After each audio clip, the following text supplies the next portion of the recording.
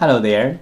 In this video, we are going to use a verbatim portable hard drive as an example to talk about the verbatim portable hard drive and external hard drive repair and data recovery. This is the model number of the hard drive. It is on the back of the drive and uh, it is a little bit too small to see, but this is the model number which is used to identify the hard drive to look for parts for repairing and data recovery.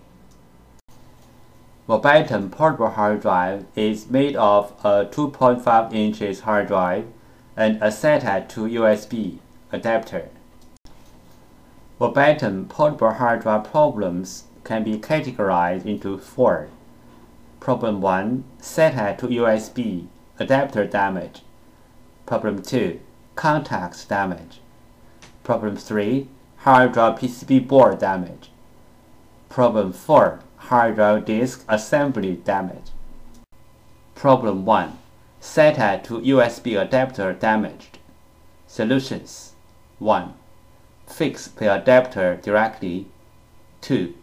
Connect the hard drive to another SATA uh, to USB adapter or external enclosure or another computer.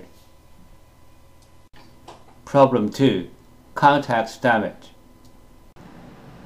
These are the contacts between the hard drive and the controller board.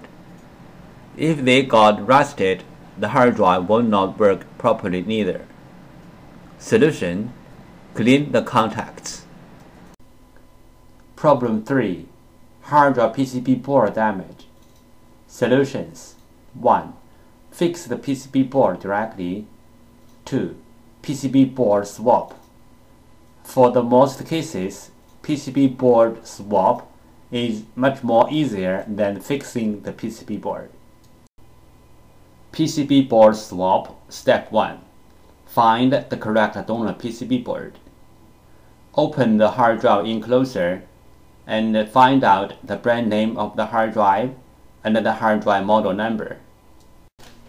This picture shows where to find Toshiba 2.5 inch hard drive PCB board number. Different brand name, different PCB board. The PCB board numbers are different you may go to hdd-parts.com to check out other brand name PCB board numbers. After knowing the hard drive model number and the PCB board number, you may use them as a reference to search for the correct donor board. If you have problem to find the PCB board number, you may just enter the hard drive model number and some information from the hard drive PCB board and then go to hdd-parts.com to find similar hard drive, similar PCB board number. From there, you can find out your own PCB board number. We found the correct donor PCB board for the hard drive, but this is only the first step. The next step is we have to do the PCB board firmware transfer to make the donor board work on the original hard drive. PCB board firmware PCB board firmware is the information data on the PCB board. It may be in the memory chip or in the main chip on the PCB board.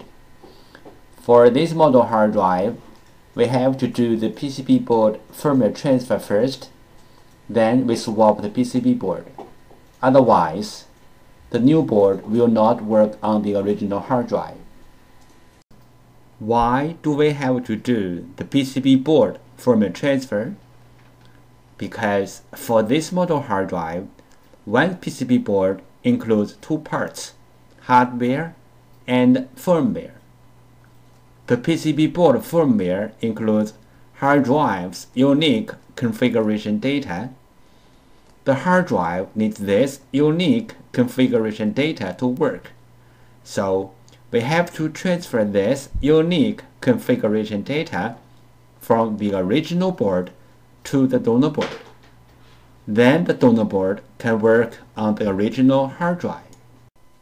Regarding the hard drive PCB board firmware transfer, we have three things to mention. First, PCB board firmware transfer is different from the hard drive firmware upgrade.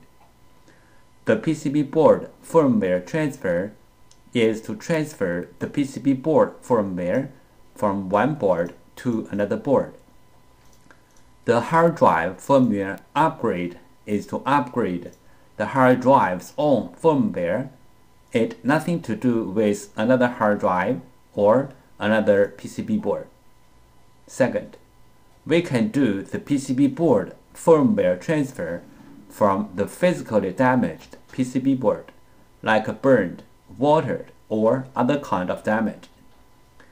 Our PCB board firmware transfer success rate is more than 95%. Third, we do the PCB board firmware transfer for our clients for free.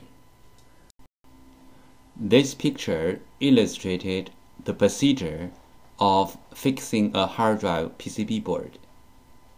First, the clients send in their PCB board. 2. We fix the PCB board. 3.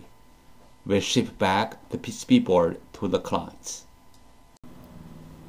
If the hard drive disk assembly is damaged, we can do disk data recovery to recover the data from the disks. The common symptoms of hard drive disk assembly failure are the following. 1. Hard drive makes weird sound. 2. Spin nicely but no access to any computer. 3. Hard drive no spin. This picture shows the procedure how we do data recovery for our clients. First, the client send their hard drive to us. Second, we do data recovery.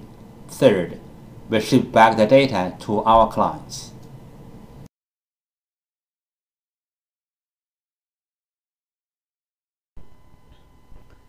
Thank you for watching.